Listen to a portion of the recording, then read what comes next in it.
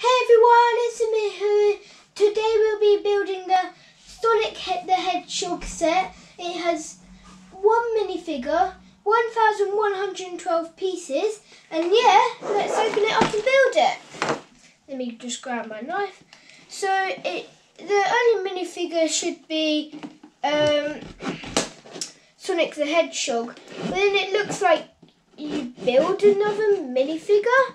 So I'm not I'm not sure if that counts as a minifigure or not, but I'm pretty sure it's just one minifigure. There we go. It's opened up.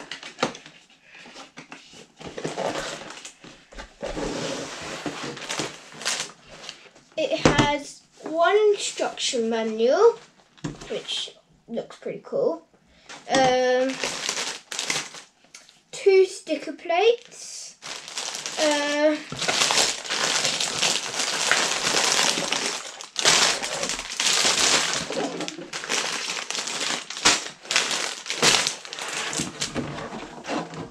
it has